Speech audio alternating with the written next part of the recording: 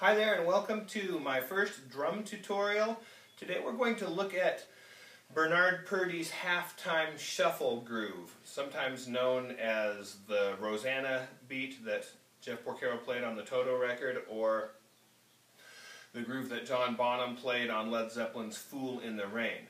And I'm going to try to show you how about how Bernard Purdie played it on a couple of Steely Dan songs, Home at Last and Babylon Sisters. It was something approximately, approximately like this.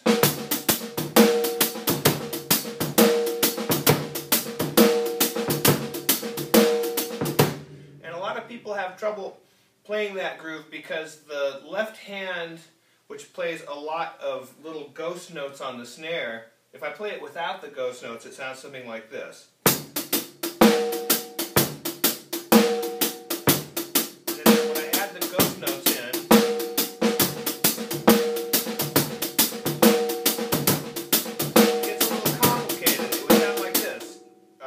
Play it without the hi-hat,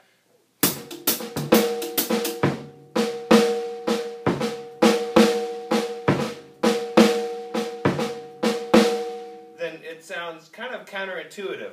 So, I want to try and make it intuitive by breaking it down and using a mnemonic aid, a song lyric that's fairly well known, to simplify the sticking or make the sticking more understandable. And the song I've chosen for this is a little crazy. It was a novelty record back in the 60s called They're Coming to Take Me Away. It went, They're coming to take me away, ha ha, they're coming to take me away, ha ha, hee hee ha ha, etc.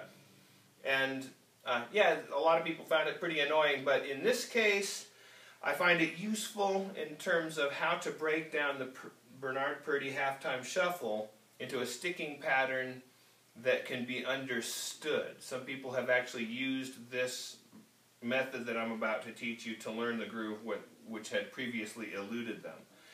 I'm going to take the words, they're coming to take me away, ha ha, and I'm going to add the word and at the end. The first word, there, is actually the pickup note from the previous measure.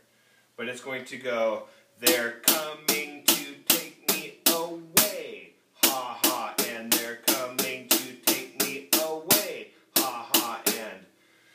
So what we've got happening is the left hand playing the ghost notes on the syllables ming, me, and then there's an accent on away, ha ha, and. So ming,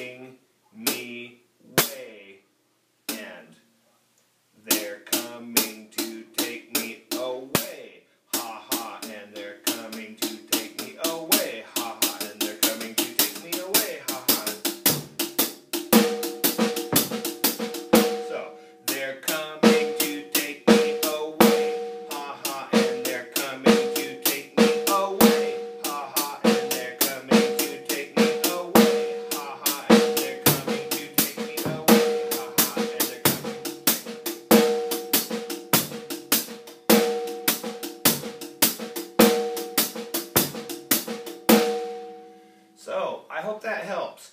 And if you want to add a little bit on the kick drum, that first pickup note there would be a good place for it because it's actually the last 16th note triplet of the previous measure.